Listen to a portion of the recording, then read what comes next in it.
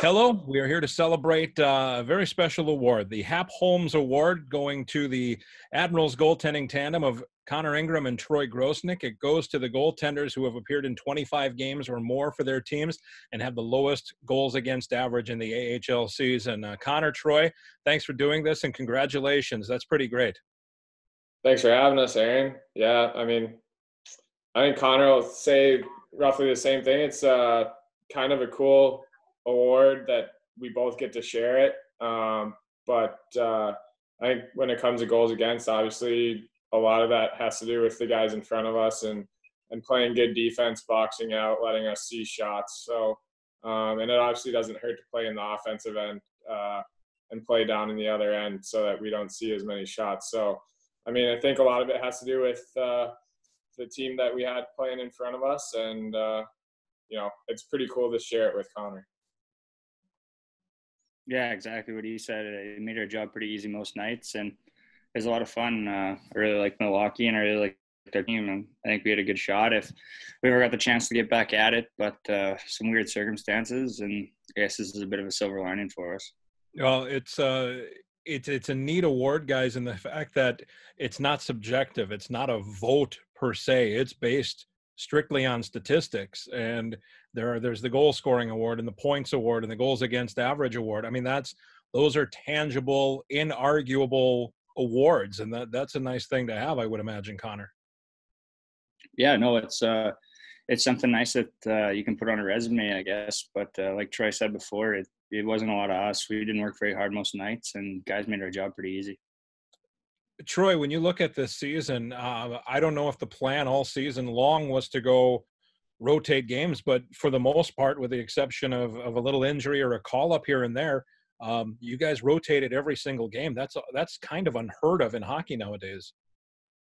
Yeah, it was just one of those things that we kind of got on the roll doing that way, and Karl was always straightforward with us. Obviously, we had two goalies that we were real confident going into the season with, and Karl was just honest with us. He was like, "You guys are each going to get your chances, and we'll kind of take it as it goes as the season develops." And it's just one of those things where you know there's no reason for us not to keep just rotating. Like everything was going well. If if it's not broke, don't fix it, kind of thing. So um, I think that was kind of Karl's mindset going through the season, and um, yeah, we just kind of wrote it out. And obviously, Connor and I have a good relationship, so when uh, when we weren't playing, we were each other's biggest fan, and it's just uh, it's a lot of fun to be in a tandem like that.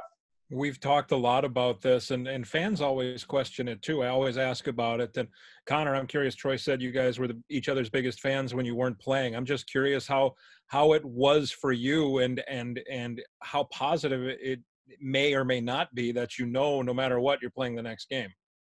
Yeah, it was it was really good. It was uh, it was nice to know it's it's different kind of uh, your whole life as a goalie, you you wait for that text, that phone call the night before, kind of thing. But once we got going and you never had to worry about it. And uh, Troy, Troy and I did have a good relationship. You knew if uh, if I ever did anything stupid or or laughed about something, I could pick my head up and Troy would be the first guy to make fun of me. So it's uh, it was a lot of fun. You need that levity, don't you? Yeah, exactly. Uh, still to this day, I, I know Troy when he picks up pucks in practice is is still going to make fun of me every time. well, it, it, Troy, uh, Troy has said this on a couple of occasions on things we've done, but um, Troy meeting Connor and playing with Connor this season, it's uh, it's opened up a path to your son to become a goaltender at, the, at a high level. Yeah, I mean, he uh, he loves Connor, so you know always wants to be Connor when when he puts on the pads. So, and like I said before, like all the power to him. Like if he turns out like Connor, I probably did something pretty good. I'll, I'll touch too on what Connor said. Just a little funny story from the season. How we didn't have to worry about texts most of the season. You know, Rooker would text us just, you know, hey, you're going in tomorrow, just kind of out of an abundance of clarity. But there's a stretch there. I think we were on the road most of it actually when we were going through kind of like I think it was during that 13 game winning streak that we had and Rooker was actually in Europe doing scouting and stuff. And uh, like Connor and I weren't getting texts, and Rooker had assumed that Karl was telling us, and Karl had assumed that Rooker was telling us who was playing, but we just knew because of the just because of the thing. But they thought each other were uh, telling which goalie was going, but we just kind of had it all assumed and all worked out and just, you know, keeping it smooth. You want all the communication you can get, and then you get no communication. Yeah, but I think it was an abundance of clarity already, just because it was so clear already that uh, I don't think it was really as necessarily as as it might normally be. It's an interesting spot, uh, and I'll, I'll I'll start with you, Connor, on this. But you had alluded to it um, not getting the chance to play in the playoffs. It would be second round, roughly, right about now. Um, perhaps heading into the third round, depending on how how well everything was going. Um, do you feel a little cheated that you didn't get the chance to play in the tournament?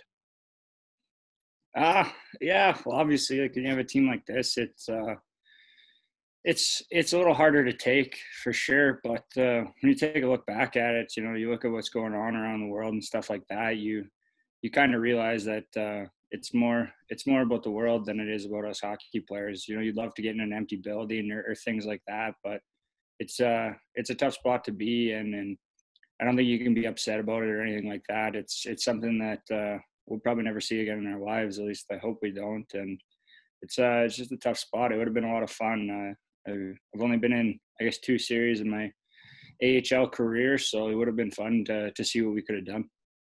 Troy, at the same time, though, you can't take for granted the fact that you guys were eight points ahead of the second best team in the American Hockey League and won the regular season championship. Wins in October matter, wins in November matter, a 13 game winning streak, it all matters here going down a, throughout a season.